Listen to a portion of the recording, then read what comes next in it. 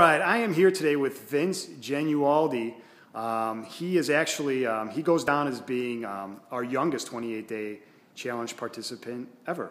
Uh, he, he actually went through the challenge back in December, finished it right before the new year, and at the time he was 22 years old.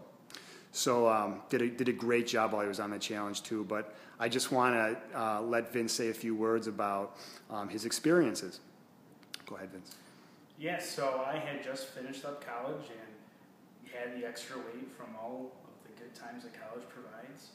And uh, one of my good friends just finished the 28 day challenge, so I thought I'd give it a shot, and I'm glad I did. Uh, the program is definitely doable and yields great success if you put the hard work into it. Um, not only does it provide you with good workouts and great resources, um, but just uh, makes you change necessary things to your diet that's completely sustainable after the program is done.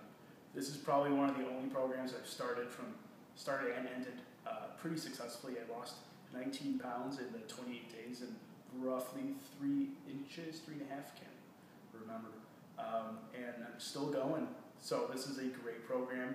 I would highly recommend to anyone, especially those who had been trying to lose weight but give up after a week or a day.